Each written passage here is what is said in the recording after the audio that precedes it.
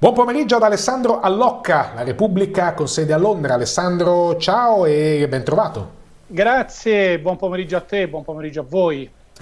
Il titolo è quello che vedi anche tu ehm, qui in sovraimpressione, insomma, proprio sotto di noi. La Brexit ci sta avvicinando all'Irlanda e ci sta allontanando, ma questo lo sapevamo già, dal, in generale dal Regno Unito e eh, dal, dall'Inghilterra. Questo perché sostanzialmente succede che il traffico merci Qui prendiamo la Francia come punto di riferimento, come paese punto di riferimento dell'Europa. Francia e Irlanda, siamo su euronews.com, è aumentato del 476%. Mi viene da pensare che cosa succede? Invece di passare dalla Gran Bretagna si passa dall'Irlanda, magari insomma si, eh, ehm, non, so si, non so se costa un po' di più questo diciamo, cambio insomma, di interlocutore dal punto di vista commerciale, ma eh, è evidente che insomma, in questo momento l'Irlanda è decisamente molto più vicina a noi Europa di quanto lo fosse prima. Sì, in realtà è una questione puramente di comodità, perché comodità. non si tratta di costi, dato che l'accordo raggiunto tra Londra e Bruxelles, siglato a fine dell'anno 2020 e che ovviamente va a regolare tutti i rapporti attuali e futuri tra i due territori, eh, UK e i 27 Stati membri, non prevede dazi di nessun genere, però prevede tantissime scartoffie che devono comunque compilare eh, i tantissimi eh, camion che normalmente partivano dalla Francia o anche dall'Olanda, comunque dagli altri territori confinanti per entrare all'interno del Regno Unito o anche al contrario uscire dal Regno Unito eh, verso gli altri 27 Stati membri. Ok, non ci sono i dazi, ci sono però, come ti dicevo, queste scartoffie che comunque fanno allungare i tempi. Molte aziende da DHL, Amazon hanno comunque deciso di mettere un piccolo, una piccola sovrattassa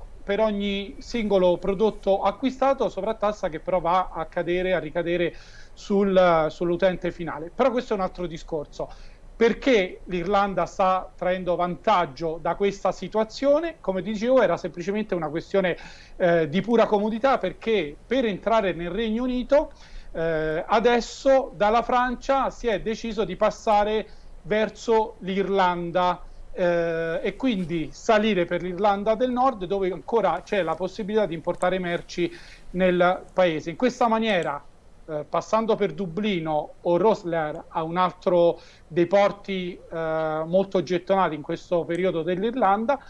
non ci sono scartoffie da compilare da parte dei, dei camionisti, perché ovviamente l'Irlanda fa ancora parte eh, dell'Unione Europea, o meglio, farà sempre parte, perché è l'Irlanda che non fa parte del Regno Unito, bensì è l'Irlanda del Nord. Sempre rimanendo nel gioco dei numeri, eh, i direttori dei singoli porti, sia quello, eh, quelli francesi di Cherbourg e Dunker e quelli irlandesi di Dublino e Rosler, hanno confermato che nel medesimo periodo, gennaio 2000, il trasporto attraverso i loro traghetti era di circa 3.000 camion su base mensile.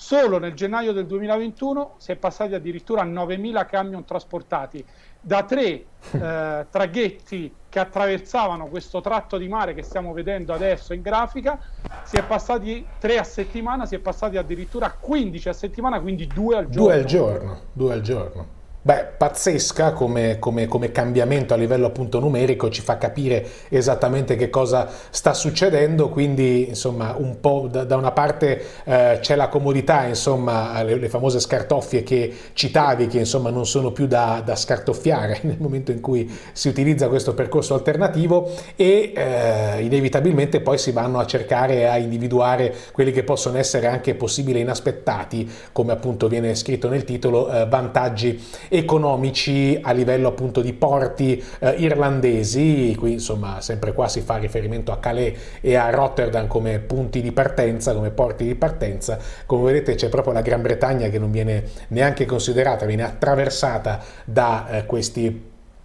eh, da questi passaggi, insomma, da questi trasferimenti e con buona pace, insomma, con, con eh, Londra. Mm, c'è anche il caso dell'Irlanda del Nord, qui dato che insomma siamo con un collaboratore di Repubblica, mostro anche eh, il titolo che ci mostra oggi, appunto il quotidiano online, Brexit, caos alla dogana, le esportazioni della Gran Bretagna crollano del 69%, sempre procedure burocratiche con l'UE che creano disagi a non finire, da aprile eh, viene spiegato eh, quando scattano i controlli anche per l'import la situazione potrebbe anche peggiorare e qui ci ricolleghiamo all'Irlanda del Nord che citavi tu poco fa Alessandro che si sente sempre più abbandonata che poi peraltro l'Irlanda del Nord è stato uno dei temi chiave della trattativa eh, della, della, Brexit insomma l'area di pesca eh, che bisognava decidere un po' che fine avrebbe fatto nel momento in cui il, la Brexit sarebbe stata operativa. Sì, confermato perché eh, l'Irlanda del Nord è un po' la, la, figlia, diciamo, minore, un po' più sfortunatella insieme al Galles del Regno Unito, mentre la Scozia comunque gode di una sua economia, dei suoi vantaggi e infatti è da tanto che si parla di un'indipendenza all'interno del confine della Scozia, c'è stato un primo referendum eh, ancora prima della Brexit, però si era deciso di rimanere nel Regno Unito, adesso questa sorta di distacco da Londra sta prendendo sempre più piede anche in Irlanda del Nord e nel Galles, perché comunque stanno vedendo che i vantaggi di questa Brexit in un certo senso non è che ci sono, soprattutto per questi piccoli territori dove mentre a Londra, come si può ben immaginare, l'economia è basata comunque sulla finanza, sul uh, turismo, sul settore immobiliare, ma in piccoli territori come l'Irlanda, che è il, l'argomento centrale eh, adesso, eh, eh, l'economia si basava sulla pesca, si basava per l'appunto sul traffico merci che arrivavano dall'Unione europea attraverso l'Irlanda, ma adesso con la questione della Brexit, con la questione della chiusura delle frontiere, con queste tantissime scartoffie che dicevamo prima, ovviamente le altre aziende provenienti dai, dai 27 Stati membri, cambio 27 dei Stati membri, eh, anche le acque territoriali di pesca, hanno deciso in un certo senso di curare i propri interessi, giustamente, e di bypassare alcuni problemi che eh, sono nati tra questo accordo tra Londra e Bruxelles. Chi ne sta tra, eh, traendo svantaggi è per l'appunto l'Irlanda nel nord, anche se non c'è quel confine fisico di cui tanto si è parlato e fortunatamente evitato, perché altrimenti si sarebbe tornati a una situazione eh, tra Irlanda del Nord e Irlanda anche di ehm, rischi politici dovuti, ricordiamo, alle eh, famose ripercussioni politiche, sociali e religiose di decenni fa, quindi si è evitato il confine fisico, però allo stesso tempo non si sono evitati, eh, o meglio, non si sono avvantaggiati quelli che sarebbero potuti essere eh, tutte quelle piccole economie che avrebbero portato per l'appunto eh, una salute economica all'Irlanda del Nord. Londra in un certo senso ha ragionato da Regno Unito,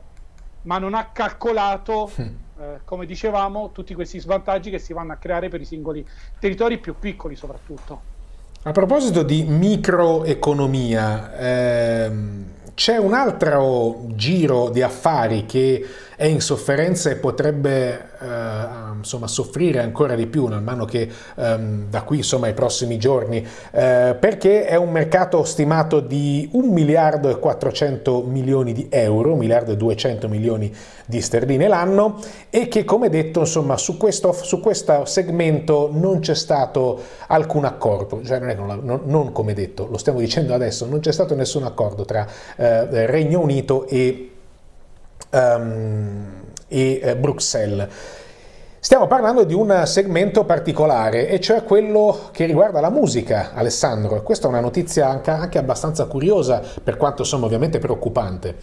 Sì, curiosa e delicata allo stesso tempo perché, come anticipato te, riguarda per l'appunto l'aspetto della musica che quasi nessuno ci faceva caso, ci fa caso, perché adesso siamo in un periodo di lockdown dove tutti gli eventi sono stati bloccati, ma in realtà per i musicisti italiani, prendendo in considerazione quindi la, la nostra Italia, era comunque normale venire a suonare eh, in, eh, a Londra o anche in altri territori, parlo di Bocelli, di Zucchero, ma anche per i giovani musicisti che cercavano di venire eh, a, a trovare fortuna a Londra nei vari pub. Tutto questo adesso si stoppa eh, con gravi disagi sia dal punto di vista culturale ma anche dal punto di vista economico. Parlavi te giustamente del valore di questo mercato a livello annuale che supera il miliardo di sterline o, o in euro. Questo perché con l'uscita del Regno Unito dall'Unione Europea si è bloccato anche la libera eh, movimentazione delle persone, la libera circolazione delle persone. Quindi qualsiasi persona vuole entrare nel Regno Unito eh, deve comunque entrare o dal punto di vista turistico, ma se entra dal punto di vista del lavoro, quindi anche come musicista, deve ottenere un visto che costa sui 250 sterline. E per un giovane musicista è comunque un peso notevole da sopportare, ma anche in caso un piccolo locale o un pub che vuol chiamare un artista italiano, un rocker italiano, avrebbe comunque un costo importante. Ma eh, l'altra parte della medaglia, della, della medaglia, chi ha la peggio in tutta questa situazione è proprio il Regno Unito. Perché gli artisti del Regno Unito, qualora volessero eh, girare per l'Europa, per i 27 Stati membri, eh, sia come tournée, parliamo dei grandi artisti, o anche, come dicevo prima, del singolo artista, devono fare visti per ogni singolo paese che vanno a visitare, che entrano dal punto di vista lavorativo musicale. Quindi immaginiamoci il giovane artista che vuole andare a, in Spagna, in Germania, in Italia, prima di un suo live deve comunque richiedere un visto con un costo medio di 90 euro a paese. Una grande produzione se lo può permettere, ma immaginiamoci il singolo artista, come dicevo prima, il, quello che qui viene chiamato il buskers, l'artista di strada, quanto può andare a incidere eh, dal punto di vista economico sulla sua carriera, oltre ovviamente poi a chiudere, a mettere un, un confine vero tra l'espressione musicale, il melting pot, l'influenza tipica eh, che può portare il Regno Unito verso l'Europa e l'Europa verso il Regno Unito. Mi viene da, mi viene da chiedere eh,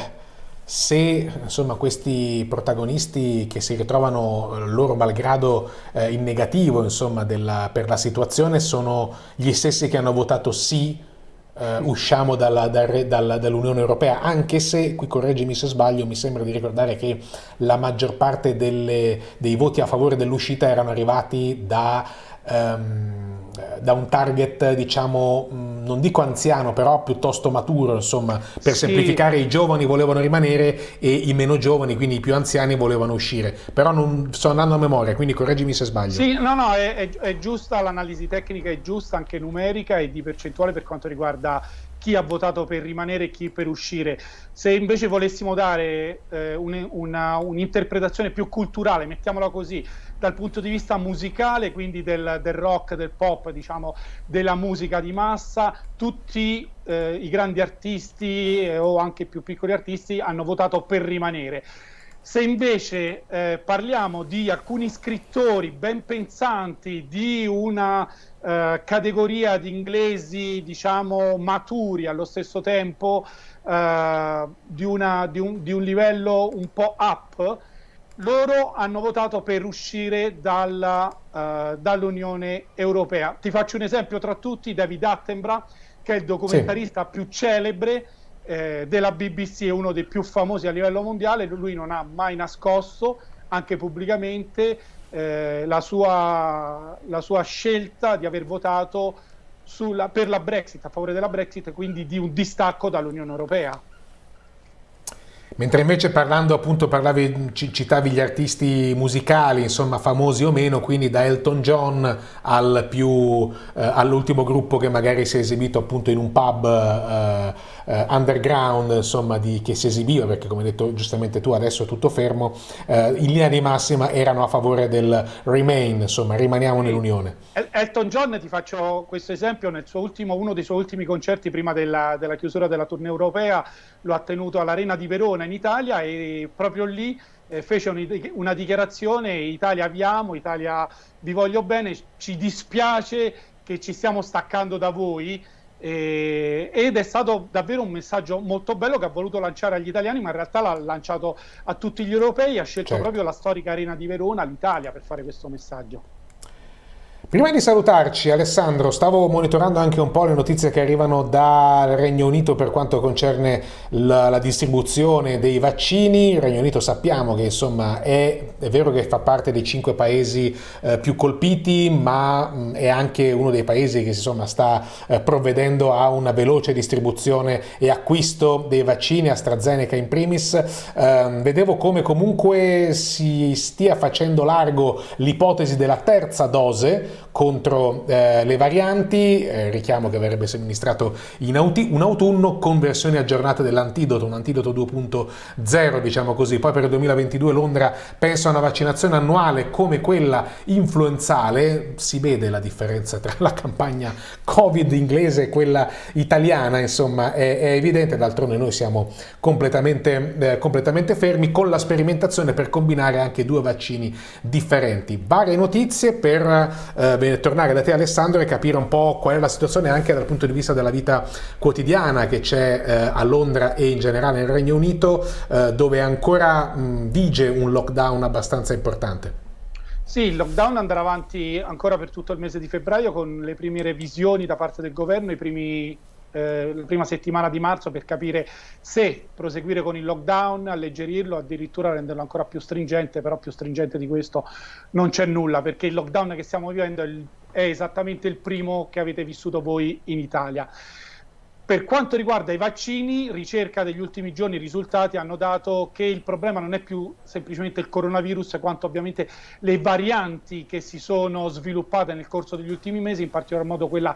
sudafricana e il, il vaccino dell'AstraZeneca se, sembrerebbe ehm, efficace solo al 10% su alcune particolari varianti che si sono a loro volta sviluppate sulla variante sudafricana, una cosa abbastanza eh, tecnica particolare, quindi ecco perché si parlava di un vaccino 2.0 e di un richiamo, un terzo richiamo da effettuare nella, nell'autunno, subito dopo l'estate, a coloro che hanno eh, in questi mesi ottenuto primo, la prima dose e il successivo richiamo. Eh, dal punto di vista numerico eh, sono state superate le 11 milioni di vaccinazioni, eh, non c'è problema di rifornimento, stanno arrivando ehm, sia quelli di AstraZeneca, ma addirittura è arrivato anche l'ordine del quarto vaccino autorizzato nel Regno Unito che è il Novavax.